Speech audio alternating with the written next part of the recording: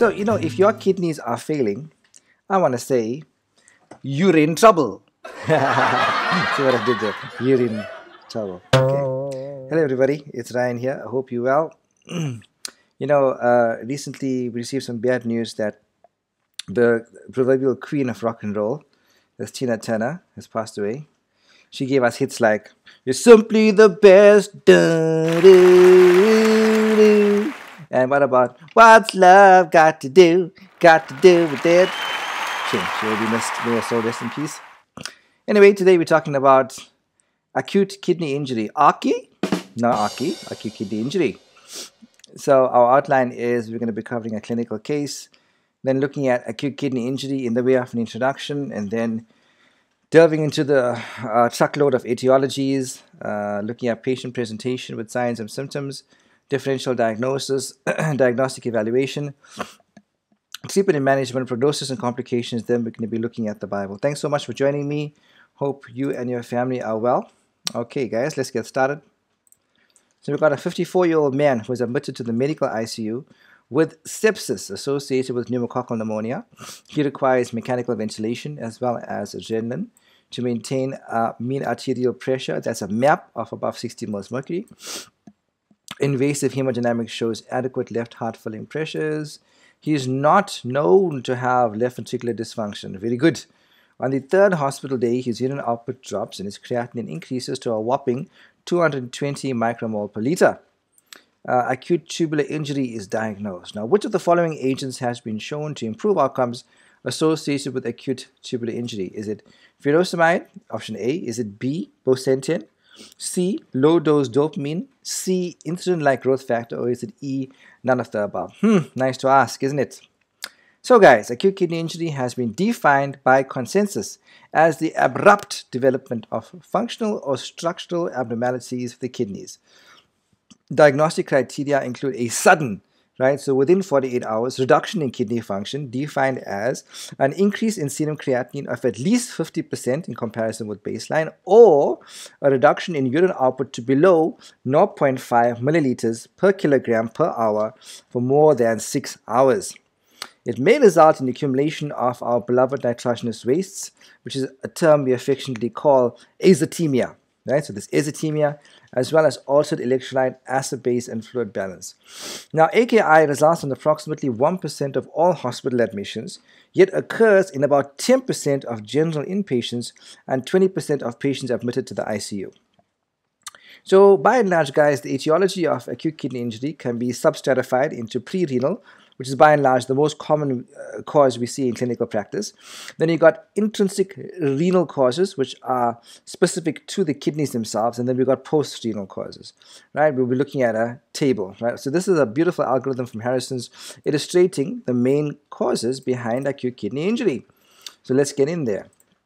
So we said it's either pre-renal, right? Intrinsic renal or post-renal. Examples of pre-renal uh, AKI are hypovolemia from whatever cause, usually dehydration on the back of, uh, you know, uh, diarrhea or some losses uh, or, or bleeding, you know a decreased cardiac output, decreased effective circulating volume in the way of congestive cardiac failure or liver failure, impaired renal autoregulation, and the poster kids for that is the use of nonsteroidals.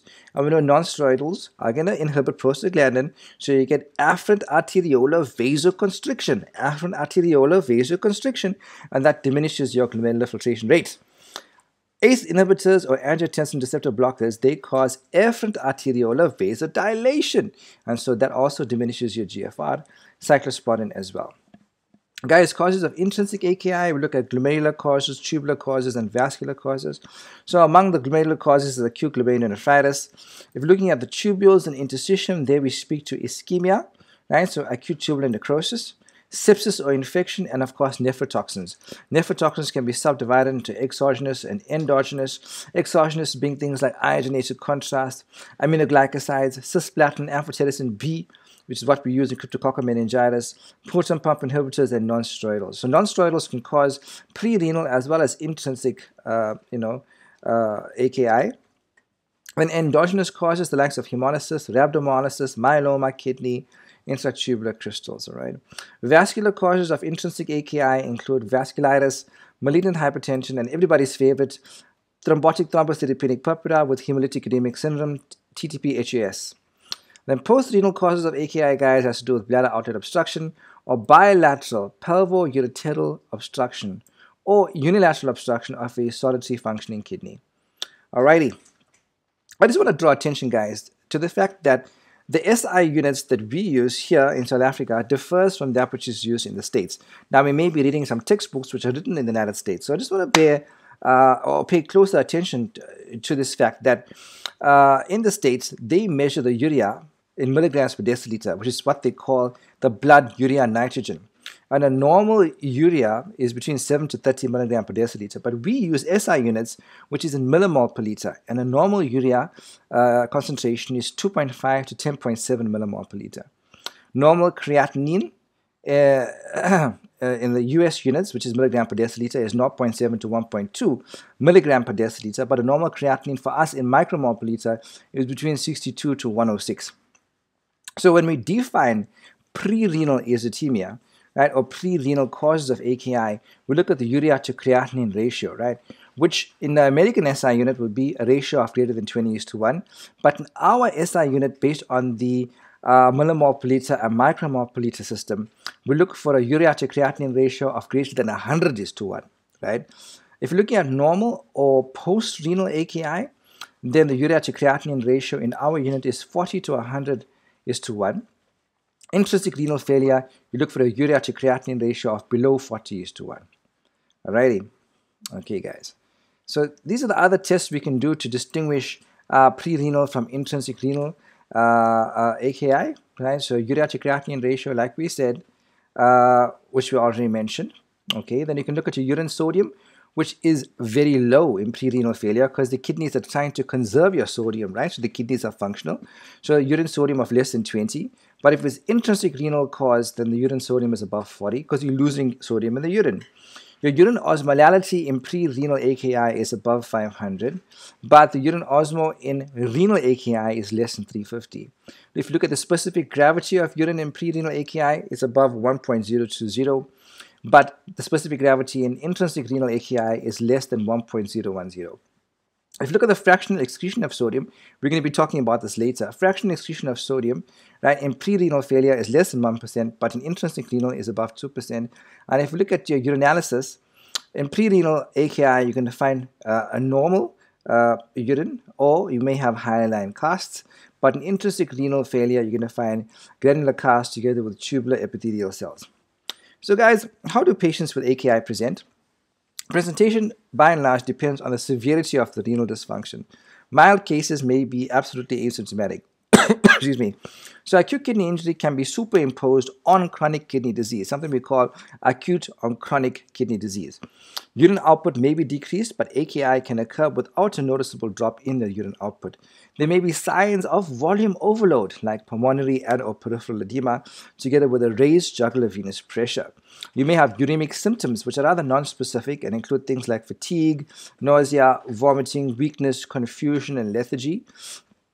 Uremic signs include things like asterixis, which is the infamous flapping tremor, right? Dry, flaky skin, and a pericardial friction rub because of uremic pericarditis, right? Gastrointestinal bleeding uh, owing to uh, you know, qualitative platelet dysfunction, and malnutrition may also be present, okay? So this is a beautiful table from Harrison's illustrating the major causes, uh, clinical features, and diagnostic studies of pre-renal and intrinsic AKI. So if the etiology is pre-renal azotemia, the clinical features are those that we just mentioned, right? History of poor fluid intake or fluid loss. And then we have hemorrhage, diarrhea, vomiting, sequestration, use of non-steroidals, ACE inhibitors, heart failure, evidence of volume depletion, right? And decreased effective circulatory uh, volume. The lab features we've already been through already. But if you're looking at sepsis-associated uh, acute kidney injury, then obviously the patient will have sepsis, will have a septic syndrome or septic shock, will have overt hypotension, all right? And lab features would be a positive culture from a normally sterile body fluid or any other test confirming infection. Urine sediment often contains granular casts and renal tubular epithelial cell casts. The fractional excretion of sodium may be low, below 1%, particularly early on, but is usually above 1% with osmolality below 500 osmolarms per kg. Then in ischemic associated AKI, the patient will have systemic hypotension, often superimposed on sepsis, or for reasons of limited renal reserve, such as the older patients and those with CKD, right? And in terms of lab features, in ischemia-associated AKI, the urine sediment often contains granular casts, renal tubular epithelial cell cast, and the FeNA is typically above 1%. Nephrotoxin-associated AKI represents an endogenous cause of AKI, and the poster kids for that is rhabdomyolysis, hemolysis, tumor and multiple myeloma. Nephrotoxin-associated AKI are exogenous causes like contrast nephropathy and tubular injury, right? And the other causes of intrinsic AKI includes glomerulonephritis and vasculitis, interstitial nephritis, TTP, atherosclerotic disease, and post-renal acute kidney injury. Alrighty.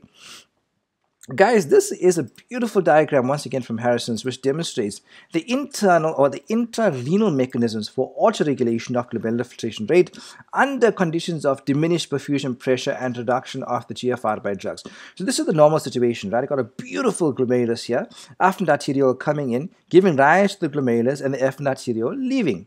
So what maintains afferent arteriolar uh, dilation is your prostaglandins, alrighty? What maintains efferent arteriolar vasoconstriction is angiotensin 2, alright? So here we have a situation where there's diminished perfusion pressure for whatever reason.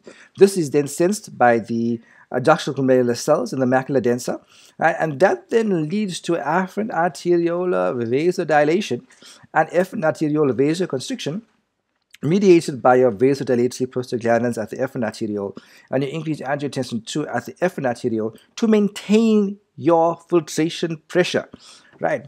When we use nonsteroidals, nonsteroidals inhibit prostaglandins, right? So that's going to result in afferent arteriolar vasoconstriction and your glomerular filtration rate drops, not good.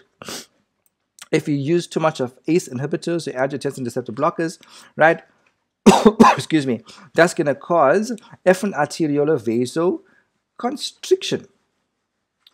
Or rather, it's going to cause, uh, a bigger pardon, efferent arteriolar vasodilation because you're inhibiting angiotensin 2. Uh, that also drops your glomerular filtration rate. So below a certain threshold, the use of ACE inhibitors is actually deleterious to your glomerular filtration rate. Okay, this is another way of looking at the major causes of intrinsic acute kidney injury, right? So this is a beautiful nephron here, right? So we got the cortex and the medulla, and the medulla is split into the outer and inner sections, right? So here we can see the proximal convoluted tubule, and from there you go into the pars recta and then the loop of Henle, which is divided into your thin descending, your thin ascending, and your thick ascending limb. And eventually that gives rise to your distal convoluted tubule, all right. Uh, and thereafter the collecting tubule and the collecting duct. So here we can see a nephron which goes all the way down to the inner medulla. And here we see one which is more like a cortical nephron which hangs around in the cortex in the outer medulla. All right.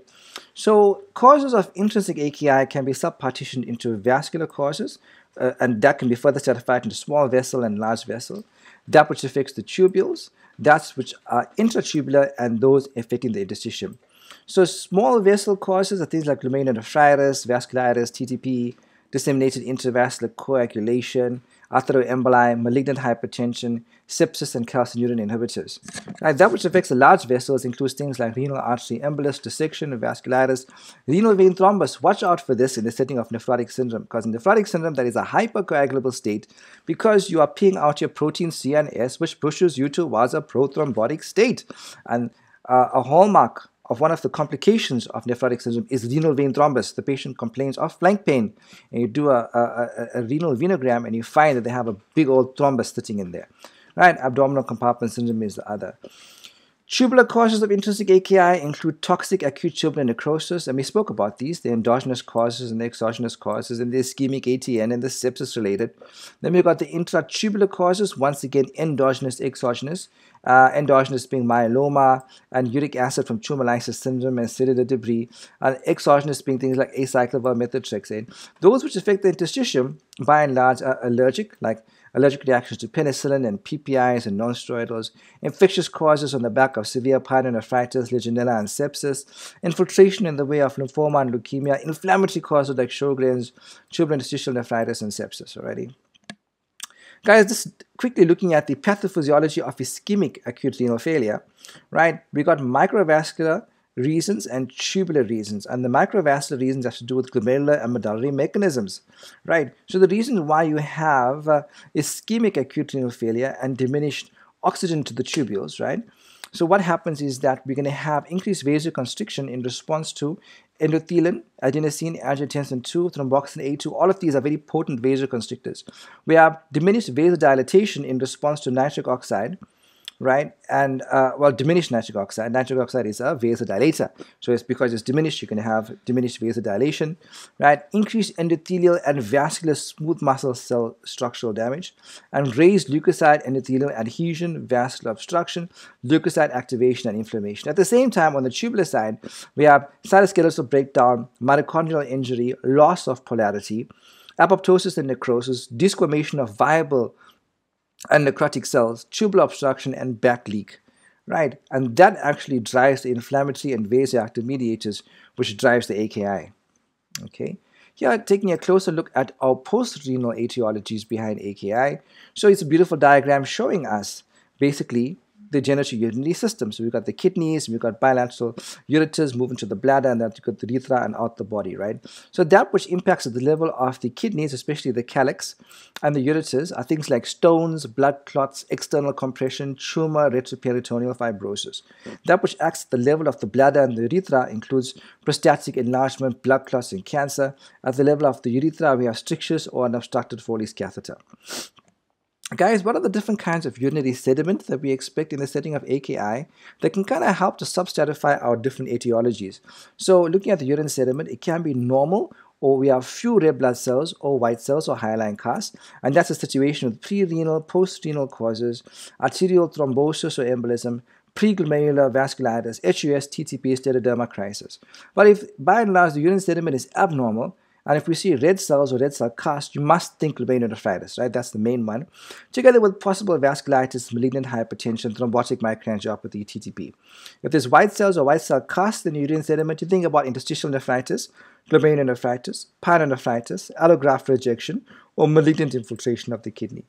It is renal tubular epithelial cells or renal tubular epithelial casts or pigmented casts. You think about acute tubular necrosis, tubular interstitial nephritis, acute cellular allograft rejection, myoglobinuria, hemoglobinuria. If there's a good old granular cast, you think about ATN, glomerulonephritis, vasculitis, tubular interstitial nephritis. If there's eosinophiluria, that's a big clue to allergic interstitial nephritis. Yes, atheroembolic disease as well pyelonephritis as well as cystitis, glomerulonephritis. If there's crystals in the urine, you think about acute uric acid nephropathy, calcium oxalate crystal, and that happens with brake fluid ingestion, which is ethylene glycol intoxication, and drugs and toxins like acyclovir, indinavir, sulfadiazine, and amoxicillin.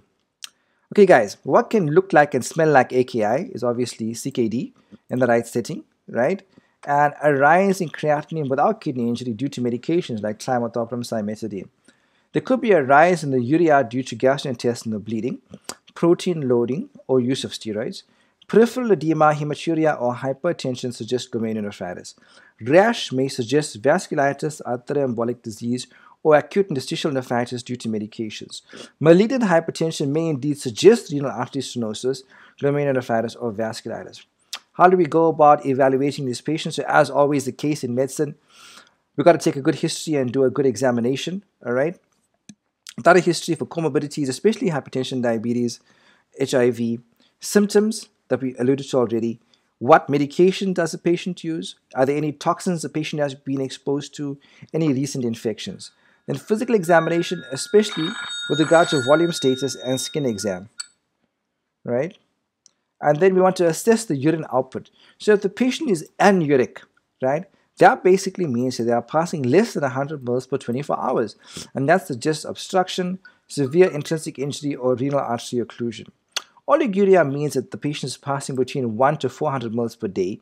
That suggests pre-renal disease, hepatorenal syndrome, or significant intrinsic injury. Non-oliguria means the patient is passing more than 400 mils per day, and that strongly speaks to intrinsic renal disease.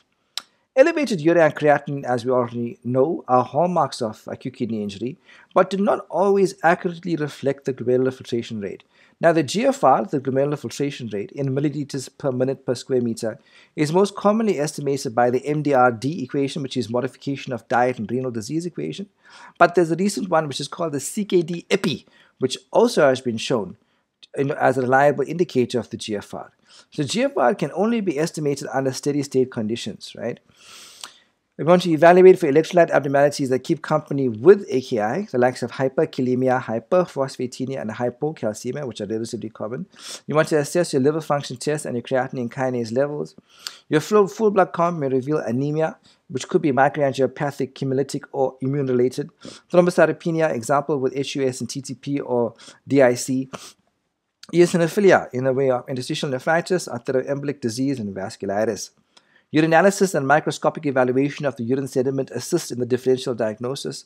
Bland sediment typically occurs in pre-renal and post-renal AKI. In patients who have oliguric AKI, which means they are passing 400 moles or less per 24 hours, who are not in diuretics, the fractional excretion of sodium may distinguish pre-renal AKI, in which case it is less than 1%, from acute tubular injury, in which case it is more than 2%. How do we compute the fractional excretion of sodium, the FENA? You take your urine sodium divided by the plasma sodium, multiply by the plasma creatinine divided by the urea creat- uh, urine creatinine, and you multiply it by 100 to get a percentage. In patients on diuretics, we have to calculate the fractional excretion of urea instead, right? You want to assess renal size and exclude obstruction by renal ultrasound. Renal biopsy is sometimes indicated, all right? Guys, how do we treat and manage AKI? So prevention includes adequate intravascular volume, especially the patient's NPO, and hydration given 24 hours before and after you give contrast. And this will minimize contrast nephropathy in those patients who are high risk. Treatment is based on etiology and is often supportive. You want to place a Foley's catheter to rule out urethral or bladder obstruction. You want to monitor your urine output, right? Correct volume and electrolyte abnormalities and optimize your hemodynamics. Patients with volume depletion will require IV fluids. Loop diuretics for those who have decompensated congestive cardiac failure. Patients with hyperkalemia require immediate treatment and cardiac monitoring. Bicarb administration may be necessary to treat severe acidemia. All right. Adjust your drug dosing, especially your antibiotics to insulin and digoxin, according to the estimated glomerular filtration rate. Discontinue all your nephrotoxic drugs. This is most important. Your non-steroidals, your aminoglycosides, your ACE inhibitors, your drugs which have an association with interstitial nephritis, like penicillins, cephalosporin. So good to do an analysis of the patient's drug chart. Now, hemodialysis is indicated for symptomatic uremia in the way of encephalopathy or pericardial rub, fluid overload unresponsive to diuresis, serum electrolyte and acid-base abnormalities that are refractory to standard measures, example severe hyperkalemia or acidosis. Dialysis is also indicated for symptomatic poisoning by toxins that are dialyzable, like lithium, ethylene glycol, and methanol. Dopamine and mannitol have little role in the management of AKI. So this is in a nutshell the management of AKI, right? So we already addressed most of these. We speak about general issues and specific issues. General issues is optimization of systemic and renal hemodynamics through volume resus and judicious use of vasopressors. Eliminate your nephrotoxic agents. Initiate renal replacement when indicated. Specific issues are nephrotoxin related. Address your volume overload, your hyponatremia, your hyperkalemia or metabolic acidosis, your hyperphosphatemia, your hypocalcemia, hypermagnesemia, hyperuricemia, nutrition, and drug dosing. All right. Guys, in terms of prognostication and complications, the estimated overall mortality associated with acute kidney injury is 15% if community acquired and up to 30% if hospital acquired. Mortality may even be as high as 75% for patients in the ICU. Early nephrology consultation has been shown unequivocally to improve outcomes. Pre-renal AKI is generally reversible if uh, recognized and treated appropriately and promptly. Non-oliguric AKI has a much better prognosis than does oliguric. However, using diuretics to convert an oliguric state to a non-oliguric state does not affect the original prognosis. Acute tubular injury usually resolves within three weeks, and rarely the injury progresses to permanent and end-stage renal disease. Contrast nephropathy often resolves within three to seven days.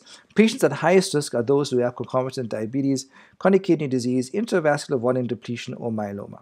So guys, coming back to our clinical case, just to rehash the stem of the question, We said we got a 54 year old male who is admitted to the medical ICU with sepsis associated with pneumococcal pneumonia. He requires mechanical ventilation and adrenaline to maintain his MAP above 60.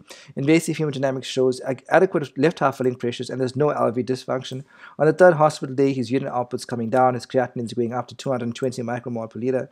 Acute tubular injury is diagnosed. Which of the following agents has been demonstrated to improve outcomes associated with his acute tubular injury? And the answer is dum dum dum dum dum dum dum. Nothing. Luto. Nada none of the above. So AKI, as we know, is a poor prognostic indicator in patients in the ICU and has been shown in multiple types of ICUs for multiple medical conditions. Unfortunately, care of critically ill patients with AKI is merely supportive because no specific therapy has been demonstrated to improve outcomes. Okay, I hope you will allow me to just encourage you from the Bible. We're talking about love today. John 13 34 says, A new command I give you that you should love one another. Just as I have loved you, so you too should love one another. 1 John 4 8 says, Whoever does not love does not know God, for God is love. Indeed, we are called to love one another as God has loved us. And I pray that we will be kind, considerate, and compassionate, whether it's with your spouse, whether it's with your kids, whether it's with your colleagues and your friends, whether it's with strangers. I pray that we will show love. Here are my references. You can catch me on Facebook. Just, just search for my page, which is entitled Internal Medicine, Algorithms, and Mnemonics. Excuse me. You can also catch me on Instagram and on TikTok as well. God bless you. If you enjoyed this material, I encourage you to like, share, and subscribe. Thank you so much for joining me. We're going to be talking congestive cardiac failure soon. Looking forward to that one. All the best and take care.